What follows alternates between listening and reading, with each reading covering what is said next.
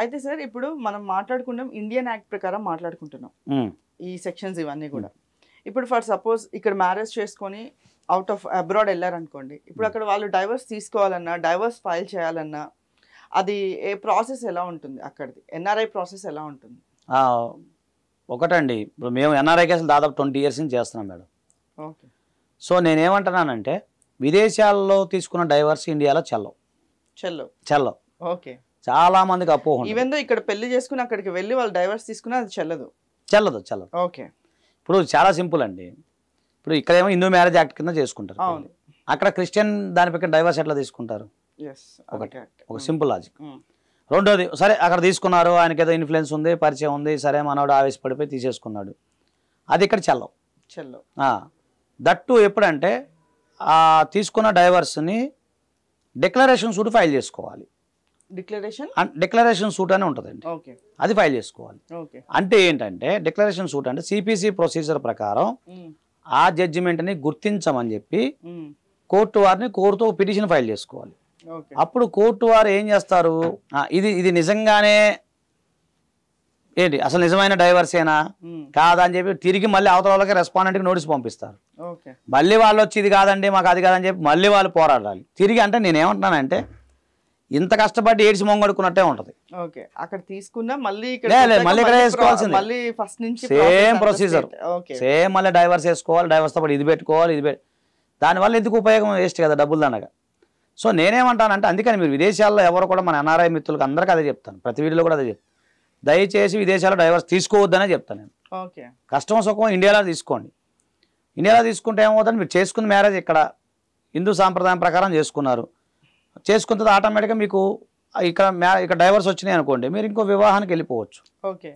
అంతే తప్ప చాలా మందికి ఇక్కడ ప్రాబ్లం ఎక్కడ అవుద్దంటే "ఆ, మనకెందుకులే విదేశాల్లో తీసేసుకుందాం ఎందుకంటే అక్కడ తొందరగా వస్తాయి ఇంత రిస్క్ ఉండదు. ఓకే. వెంటనే ఆరు నెలలు డైవర్స్ వచ్చేస్తాయి. ఓకే. ఆరు నెలలు వచ్చేస్తాయి కదా అనుకుంటారు. కానీ పాపం చాలా మంది తప్పు చేస్తుంటారు అట్లా. సో అయితే ఇప్పుడు మీరు ఇక్కడ చెప్పిన ప్రాసెస్లో అక్కడ వాళ్ళు పర్మనెంట్ రెసిడెన్సీ ఉన్న వాళ్ళకి కూడా వర్తించదు అది? వర్తించరండి. ఓకే. ఇప్పుడు పర్మనెంట్ రెసిడెన్స్ వెంటనే ఎక్కడ ఇస్తారండి? ఫర్ సపోజ్ అంటే మీరు మీకు కామన్ మ్యాన్ డౌట్గా అడుగుతున్నారు. Okay. నేను అది చెప్తానేనండి. ఇప్పుడు కొత్త ఈ రోజు పెళ్ళి అయింది మాడర్స్కి పెళ్ళైన వాళ్ళు అంటే ట్వంటీ ఫైవ్ థర్టీ ఇయర్స్ లోపే ఉంటారు. వీళ్ళు విదేశాల్లో వెళ్ళి స్థిరపడాలి అనుకుందాం విదేశాలకు వెళ్ళి స్థిరపడ్డారు అనుకుందాం ఆ స్థిరపడడానికి అక్కడ మీకు ఎప్పుడు వస్తుంది కనీసం five six seven years ten years పడుతుంది. ఒకటి. అయినా సరే ఇక్కడ తీసుకోవాల్సింది. మళ్ళీ ఇంకో డౌట్ ఉండదు మీకు. సరే వీళ్ళ గురించి వదిలేయండి మీరు ఎప్పుడు ట్వంటీ ఇయర్స్ బ్యాక్ వెళ్ళిన వాళ్ళు వాళ్ళ పరిస్థితి ఏంటంటే వాళ్ళైనా ఇక్కడ తీసుకోవాల్సింది. ఈవెన్ వాళ్ళు ఇండియన్ కొంతమంది అమెరికన్ సిటిజన్ అయిన వాళ్ళు ఉన్నారు. అక్కడ సిటిజన్షిప్ అయిన వాళ్ళు ఉంటారు. వాళ్ళు కూడా డైవర్స్ ఇక్కడ ఫైల్ చేసుకోవాల్సిందే. అంతే. అంతే. ఎందుకంటే. ఇక్కడ మ్యారేజ్ అయినప్పుడు ఓకే. నేను ఒకటి చెప్తానండి. ఎక్కడైనా సరే మీరు మ్యారేజ్ హిందూ సాంప్రదాయం ప్రకారం వివాహం చేసుకుంటే ఉదాహరణకి యుఎస్లో కరోనా టైంలో చాలామంది యుఎస్ నుంచి రాలేదు. అవును. ఇక్కడ రాలేదు. రానప్పుడు ఏం చేశారు? కొంతమంది అక్కడ పెళ్ళిళ్ళు చేసుకున్నారు. ఎక్కడ? అమెరికాలోనే హిందూ సాంప్రదాయం ప్రకారమే గుళ్ళు అక్కడ గుళ్ళు ఉంటాయి కాబట్టి అక్కడ గుడుల్లోకి వెళ్ళి హిందూ సాంప్రదాయం ప్రకారమే వివాహం చేసుకున్నారు. మరి వాళ్ళు ఎక్కడ డైవర్స్ ఫైల్ చేసుకోవాలి? ఇక్కడే? ఎస్ వాళ్ళు ఇక్కడే పెళ్ళి చేసుకోవాలి ఎందుకంటే హిందూ డైవర్స్ ఇక్కడ ఫైల్ చేయాలి అంటే హిందూ యాక్ట్ ప్రకారం ఈ ప్రపంచంలో ఈవెన్ చంద్రమానంలోకి వెళ్ళి హిందూ హిందూ మ్యారేజ్ చేసుకున్నా వాళ్ళు ఇక్కడే ఫైల్ చేసుకోవాలి ఇండియాలో ఫైల్ చేసుకోవాలి. ఓకే. చాలా మందికి అది అపోహ ఉంటుంది. నేను ఇక్కడ పెళ్ళి చేసుకోలేదు కదండి అమెరికాలో చేసుకున్నా కదా మీరు అంటే ప్లేస్ ఆఫ్ మ్యారేజ్ అక్కడ అవుద్ది కదా అని అంటారు. అయినప్పుడు కూడా మీరు అక్కడ అయినా కూడా హిందూ సాంప్రదాయం ప్రకారం మీకు ఎప్పుడైతే నడిచిద్దో అది ఇక్కడే ఫైల్ చేసుకోవాల్సి వస్తుంది. సో ఇది చాలా మందికి అపోహ ఉంటుంది. కాబట్టి ఏంటంటే ఎన్ఆర్ఐ మిత్రులు ఏం చేస్తారంటే కామన్గా సరే దీని మీద చాలామంది ఉంటాయి కానీ ఎక్కువగా మేము ట్వంటీ ఇయర్స్ నుంచి చేస్తా ఉన్నాం మాకున్న ఎక్స్పీరియన్స్ మేము చెప్తున్నాను. సో ఇది చాలా కేసులు చేసి ఎన్ఆర్ఐలు నాకు తెలిసి తెలుగు రాష్ట్రాల్లో నేను చేసిన కేసులు ఎవరు చేయలేదు. అన్ని కేసులు చేశాను గ్యారంటీ చెప్తాను నేను. Okay okay. సో ఈ ఎక్స్పీరియన్స్ వేరు. థియరాటికల్గా వేరండి థియరాటికల్ నడుస్తుంది. కోర్టులో కూడా కొంతమందికి తెలియదు స్టాఫ్ కూడా తెలియదు ఎట్లా ఫైల్ చేయాలి ఏంటి అనేది కూడా. కొన్ని కొన్ని కోర్టులో చూస్తే వాళ్ళే మమ్మల్ని అడుగుతారు. సో దీనికి ప్రాసెస్ అంతా వేరే ఉంటుంది వేరే ప్రొసీజర్ ఉంటుందండి. ఓకే. సో ఇప్పుడు మీరు చెప్పారు ప్రాసెస్ ఉంటుంది అని చెప్పి.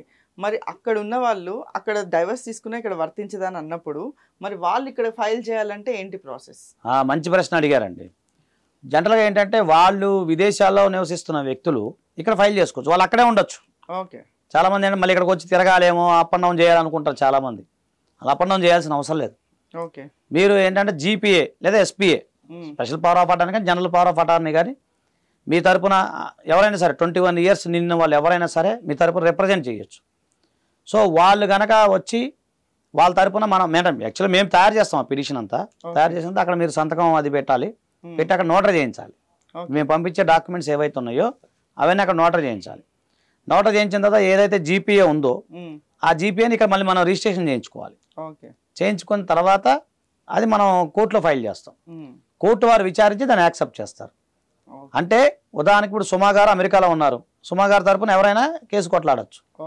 అయితే కొన్ని సందర్భాల్లో రావాల్సి ఉంటుంది. కానీ అది ముందే చెప్పచ్చు మనం. ఉమ్, మాక్సిమం దానికి స్కైప్ పిటిషన్ పర్మిషన్ ఇవి కొన్ని ఉంటాయిలేండి. ఓకే. అవి చేసుకోవచ్చు ఎక్స్పీరియన్స్ మీద చేయాల్సింది. కాకపోతే అంటే మ్యాక్సిమం రాకుండా మాత్రం ట్రై చేయొచ్చు. ఓకే. అయితే ఇక్కడ మనం డైవర్స్ ఫైల్ చేసినప్పుడు మీరు ఏదైతే కౌన్సిలింగ్ ఉంటుంది లేకపోతే ఇలా ఉంటుందని చెప్పారు హియరింగ్స్ ఉంటాయి అని. చెప్పారు. సో అది ఎన్ఆర్ఐలకు కూడా వర్తిస్తుంది? ఎవరికైనా వర్తిస్తుంది. ఓకే. అయితే అంటే స్కైప్ ద్వారా తీసుకుంటాం మేము. ఓకే. ఇప్పుడు ఉదాహరణకి అమ్మాయి ఇక్కడే ఉందనుకోండి అబ్బాయి ఎక్కడ ఉన్నాడు ఓకే. లేదా అబ్బాయి ఎక్కడ ఉన్నాడు అమ్మాయి అమ్మాయి ఎక్కడ ఉంది స్కైప్ పిటిషన్ తీసుకుంటాంగా అంటే అతను స్కైప్ కానీ ఇప్పుడు చాలా వచ్చినాయి కదండి టెక్నాలజీ. దాని ప్రకారం. తీసుకొని పర్మి కోర్టు వారి పర్మిషన్తో అతను అక్కడ కూర్చుంటాడు వీళ్ళు ఇక్కడ కూర్చుంటారు మధ్యలో కౌన్సిలర్ ఉంటారు. అక్కడ అడ్వకేట్స్ని రానివ్వరండి. అడ్వకేట్స్ని రానివ్వరు ప్లస్ పేరెంట్స్ని కూడా ఎవరిని ఇన్వాల్వ్మెంట్ అక్కడ భార్య భర్త కౌన్సిలర్ ముగ్గురే ఉంటారు. అడ్వకేట్స్ ఉన్నా కూడా బయటికి పోమంటారు. మమ్మల్ని ఇన్వాల్వ్ చేయరు. లేదు ఇన్వాల్వ్ చేయరు. మమ్మల్ని ఇన్వాల్వ్ చేయరు. వాళ్ళు వెళ్ళి చూసుకోవాలి. ఏదైనా ఎన్ఆర్ఐలకైనా అందరికీ అదే process. ఒకటే- అడుగుతారు అడిగిన తర్వాత లేదు అని చెప్పుకున్నప్పుడు ఆటోమేటిక్ మళ్ళీ ట్రయల్ స్టార్ట్ అవుతుంది కాకపోతే మీరు చెప్పినట్టు జీపీఏ అండ్ అంటే అక్కడ ఏమవుతుందంటే కౌన్సిలర్ ఉన్నప్పుడు జీపీఏ కూడా ఉండరు. కోర్టు వారు పర్మిషన్ ఇస్తారు కదా అతను అక్కడ ఆన్లైన్లోకి వస్తాడు. ఇక్కడ అంటే అతను కానీ ఆమె కానీ ఎవరైతే వాళ్ళు వాళ్ళు ఇక్కడ ఉంటారు మధ్యలో కౌన్సిలర్ ఉంటారు. అదేం మేమే అరేంజ్ చేయాలి. మా. డ్యూటే కదా. అని మేమే అరేంజ్ చేస్తాము. వాళ్ళు అడుగుతారు ఎప్పుడు అది రికార్డ్ చేసి జడ్జి గారికి ఇస్తాం ఓకే ఇచ్చి అక్కడ జీపీఏ ఉండరు. జీపీఏ ఏంటంటే వాయిదాలకి రిప్రజెంట్ చేయడానికి ఉపయోగపడతాడు. అచ్చా అచ్చా. ఓకే. ఏదో ఇతని తరపున ఏదైనా సంతకాలు పెట్టడం కానీ అవి కానీ అవన్నీ మేము చూసుకుంటామండి. మీరు జస్ట్ మీరు కాంటాక్ట్ అయితే మేము చూసుకున్నాం. స్క్రోలింగ్ మీరు మన స్క్రీన్ మన నెంబర్ ఉంటుంది కదా. Hmm. నెంబర్ డిస్ప్లే అవుతుంది కదా. ఆ నెంబర్కి ఫోన్ చేసి అపాయింట్మెంట్ తీసుకుంటాం. అది మేము మొత్తం మేము చేయగలుగుతాం. దాని గురించి ఇబ్బంది ఏం లేదండి. ఇది కొంచెం డ్రై సబ్జెక్ట్ అర్థం కాదు. కామన్ మ్యాన్కి అర్థం కాదు. అది.